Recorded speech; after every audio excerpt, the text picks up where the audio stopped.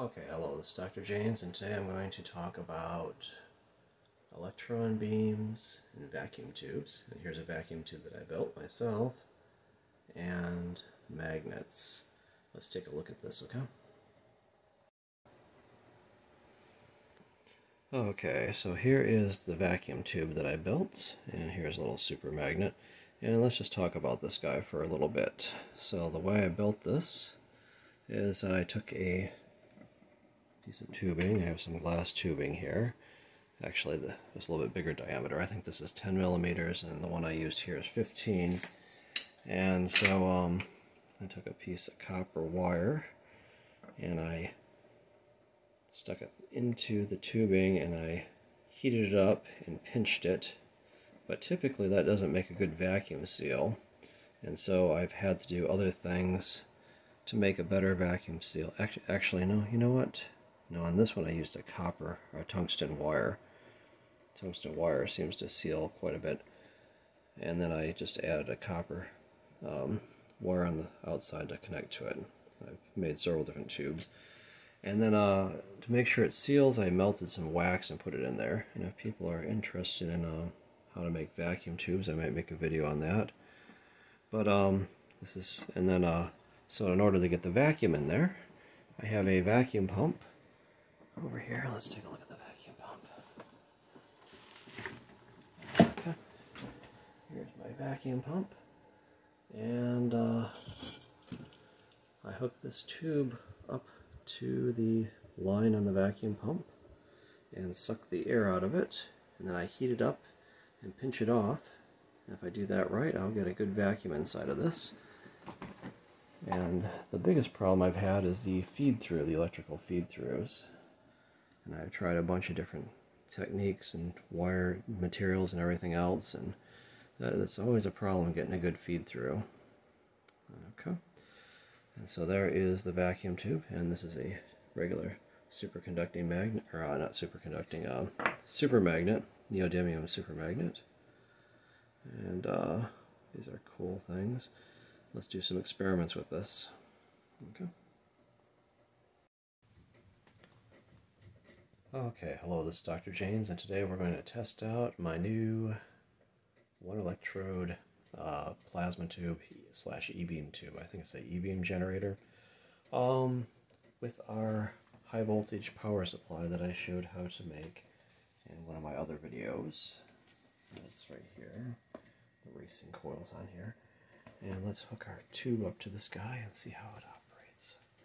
Very cool, huh? Okay, so here's our high voltage power supply. These are racing coils here, and I'm just going to use one of them. And uh, I have some sophisticated modulation on this guy, and we'll start this guy up. Okay, there we go. And I'll turn up the power. I have it at a pretty high modulation rate. And there we go, it's producing an E-beam that starts here and it travels down the tube. It's actually affected by when you bring your hand near it. Let's let's take a magnet. We got a neodymium magnet on a screwdriver. You can see the e-beam bends that way. What I'm going to do is I'm going to flip this magnet over.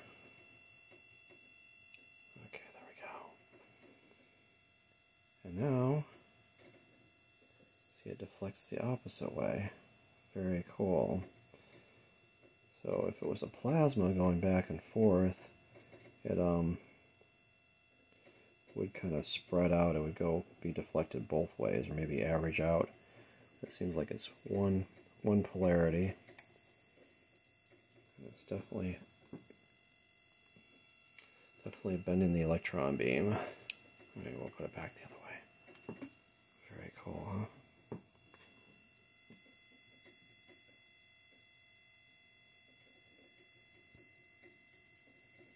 that. Very cool device, huh? And of course,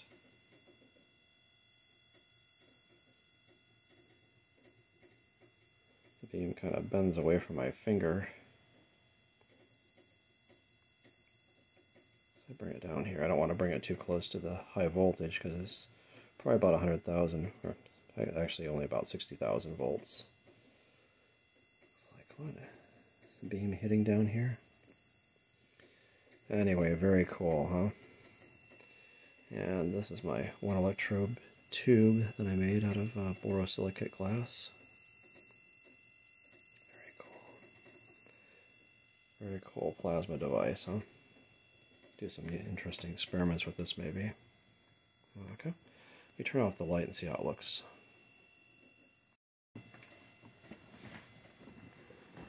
There's our plasma tube.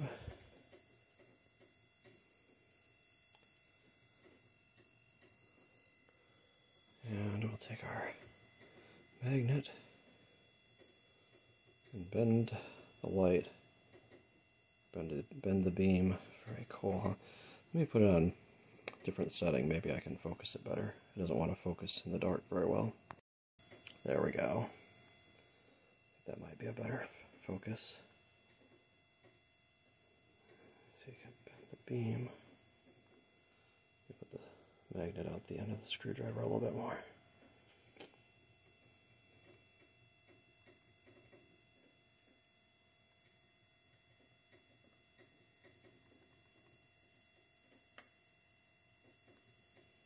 Very cool, huh?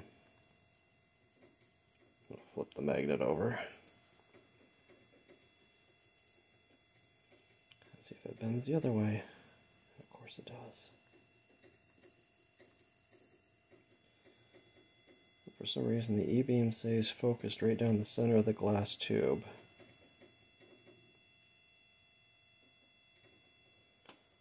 Anyway, very cool. Look at that.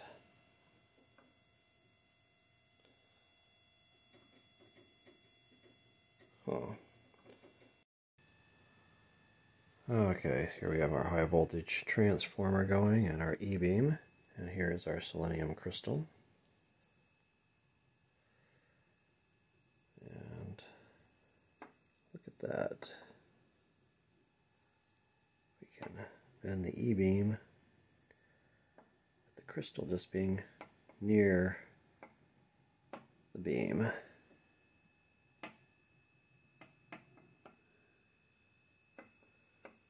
Very interesting, huh?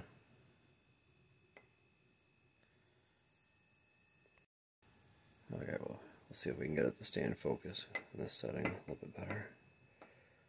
Look at that.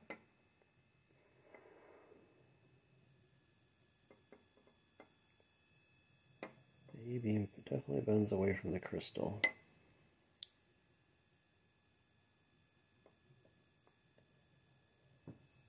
Very cool, huh?